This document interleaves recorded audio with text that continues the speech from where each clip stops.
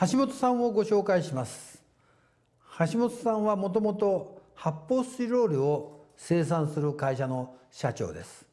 発泡スチロールっていうのはフィルムが2枚トイレットペーパーみたいに重なって出てくるとそこに熱を加えるとピュッと膨らむから発泡スチロールって言うんですね。この発泡スチロールに印刷をして型抜きをして POP、えー、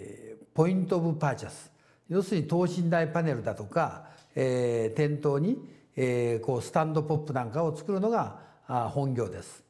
でも彼の今の一番の得意技は、えー、その商品だけではなくて、えー、POP の印刷をするだけではなくてモノマーケティングからコトマーケティングというのが彼のテーマです。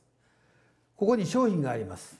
えこんな便利ですというだけではダメなんですね。やはりその商品を買ったらどんなに楽しいかどんなに便利なのかどんなに物が節約できるかというそれを伝えるところがモノマーケティングになるわけですね。それはコピーライティングの力だと思います、えー、この橋本さんのセミナーはそのようなキャッチコピーそしてから本文の、えー、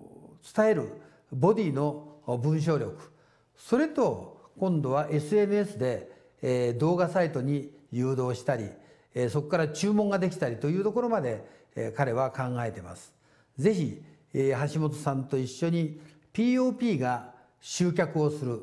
モノマーケティングからコトマーケティングこんなセミナーも彼はえー、時間を割いて私たちと一緒に展開をしてくれてます。